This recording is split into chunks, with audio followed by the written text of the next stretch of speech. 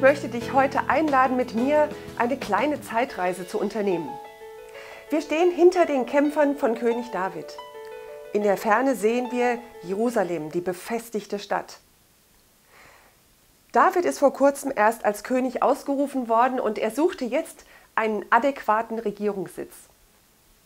Aber die Stadt schien uneinnehmbar zu sein. Sie war von Jebusitern bewohnt und sie sparten auch nicht gerade damit, die Kämpfer und damit König David zu verhöhnen. Sie sagten, selbst Lahme und Blinde könnten diese Festung verteidigen und David, du wirst niemals diese Festung einnehmen. Wie ist das mit den Festungen in deinem Leben? Gibt es da nicht auch Festungen, wo du immer wieder hörst, die Stimmen des Feindes, die dir zurufen, niemals wirst du das schaffen. Niemals wirst du deine Beziehungen verändern können. Niemals wird deine Ehe wieder repariert werden können. Niemals wirst du zu deinen Kindern einen Zugang finden. Niemals wirst du Depression oder Burnout oder finanzielle Dinge oder Sucht überwinden.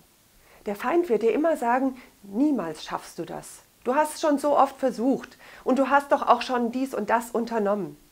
Aber guck, es hat sich nichts geändert.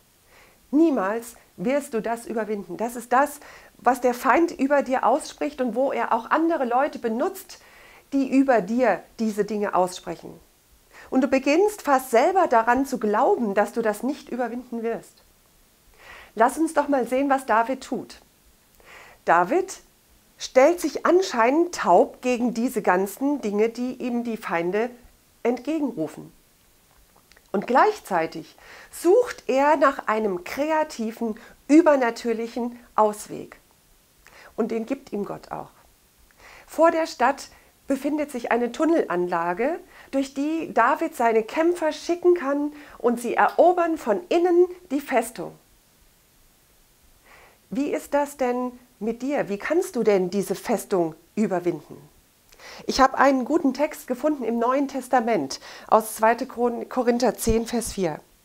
Denn die Waffen unseres Kampfes sind nicht fleischlich, sondern mächtig für Gott zur Zerstörung von Festungen. So zerstören wir Vernünfteleien und jede Höhe, die sich gegen die Erkenntnis Gottes erhebt und nehmen jeden Gedanken gefangen unter den Gehorsam Christi.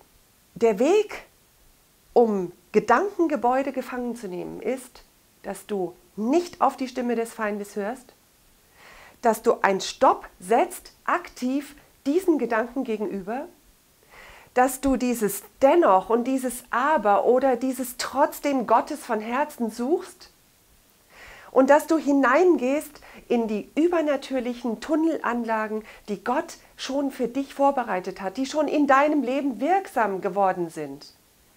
Und er will dich da durchführen, dass du die Festungen zerstören kannst. Gott will dir dabei helfen. Du brauchst es gar nicht alleine zu tun, sondern Gott schenkt dir Kraft, das in Anspruch zu nehmen, dass du diese Tunnelanlage findest, dass du dieses Übernatürliche, was er hat für dein Leben, jetzt, heute, in diesem Jahr, dass du das nimmst und dass du damit weitergehst, dass du die Festungen des Feindes zerstören kannst. Gott hat mehr für dich.